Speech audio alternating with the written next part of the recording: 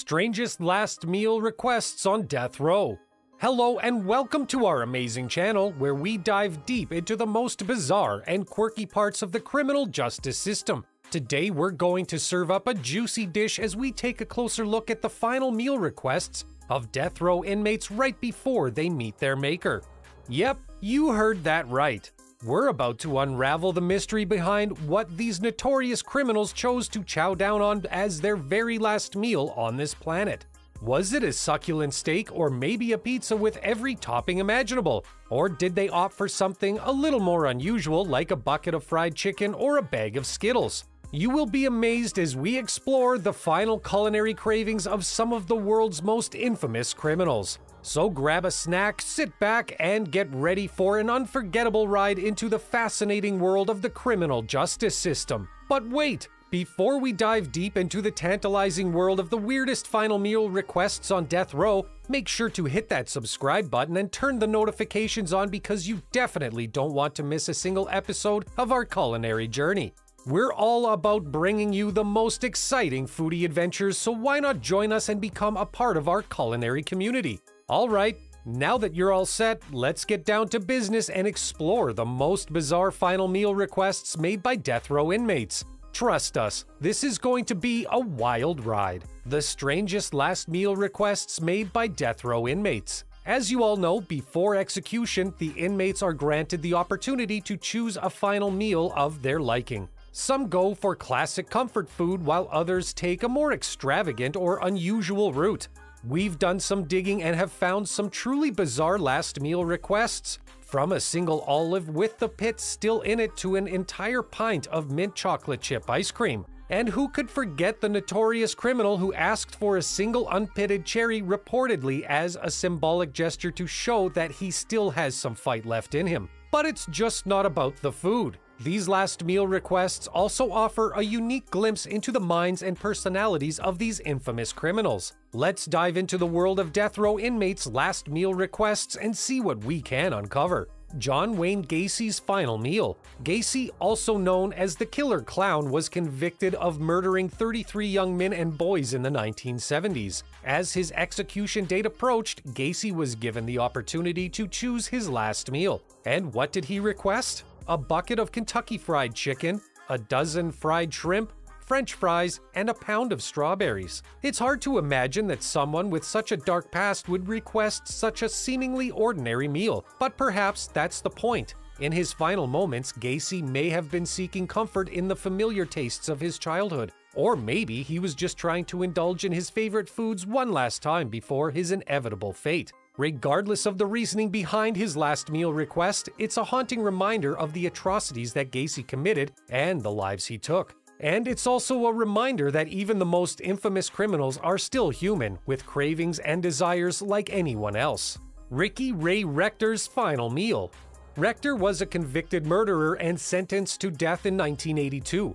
As his execution date approached, he was offered the chance to choose his last meal, Rector requested a hearty meal of steak, fried chicken, and cherry Kool-Aid with a slice of pecan pie for dessert. However, something unusual happened during Rector's final meal. He reportedly ate the steak and chicken, but when it came time for dessert, he saved the slice of pecan pie, saying he was saving it for later.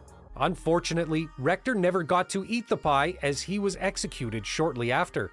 This bizarre behavior has led to speculation about Rector's mental state and the effects of being on death row. Some have suggested that Rector's actions were a sign of his cognitive decline, while others argue that it was a form of protest against his impending execution. Whatever the reason behind Rector's last meal request and his refusal to eat the pie, it remains a poignant reminder of the complex emotions and experiences of those on death row. Timothy McVeigh's final meal McVeigh was convicted and sentenced to death for his role in the Oklahoma City bombing in 1995. As his execution date approached, he was given the opportunity to choose his final meal. His request? Two pints of mint chocolate chip ice cream. This might seem like an unusual choice, but it turns out that McVeigh had a particular reason for requesting this dessert.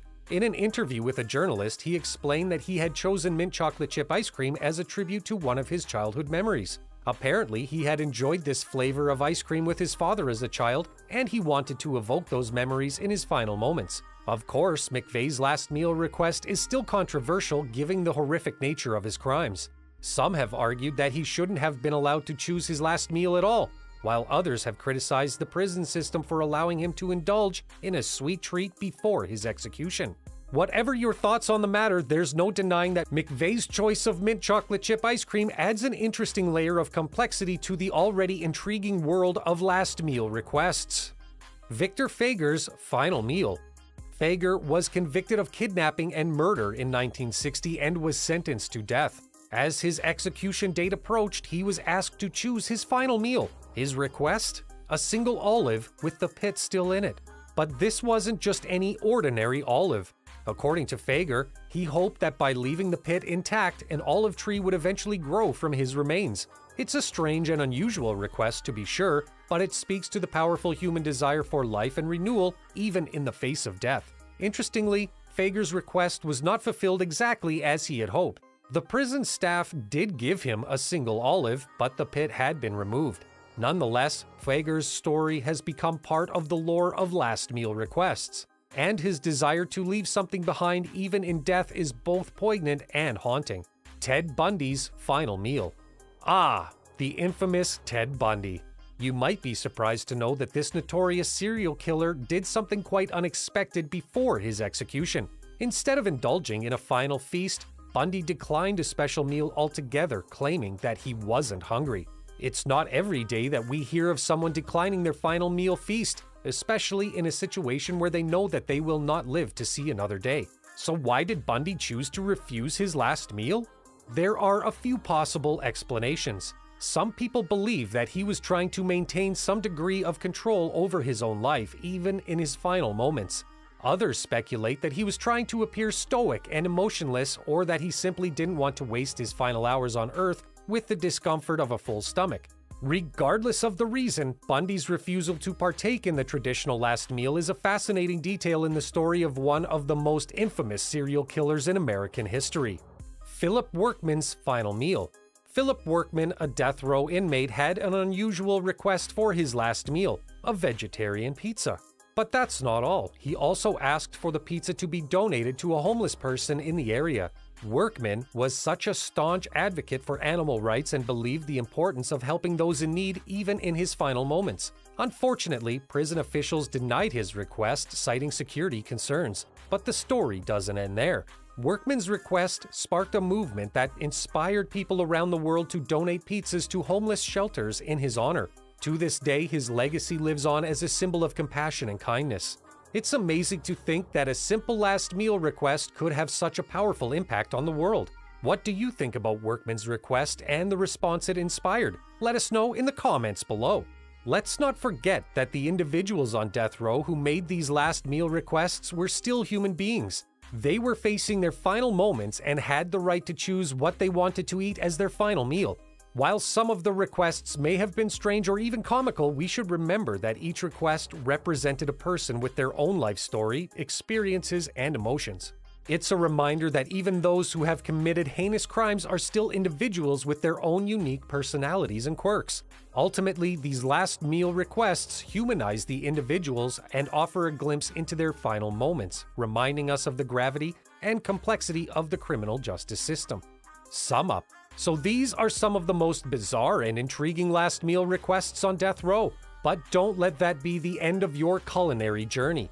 There are countless other interesting food stories out there waiting to be explored. And remember, food is not only about satisfying our hunger, but it can also be a reflection of our cultures, beliefs, and even our personalities. It's important to respect the final wishes of these individuals regardless of their past actions. So, next time you enjoy a meal, take a moment to appreciate the diversity and complexity of the food world. Thank you for joining us on this journey, and we look forward to sharing many more delicious and thought provoking stories with you in the future. Be sure to hit that like and subscribe button so you can stay up to date with all of our upcoming foodie adventures.